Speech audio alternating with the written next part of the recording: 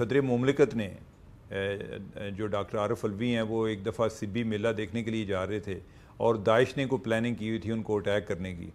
तो आईबी ने कोई एक बिफोर टाइम को पेश की, उनको इतला मिल गई, जिसके बाद सदर की सिक्योरिटी सख्त कर दी गई और जब वो निकलने लगे तो उस दौरान जो सुइसाइड बम्बर है, वो उधर मौजूद था।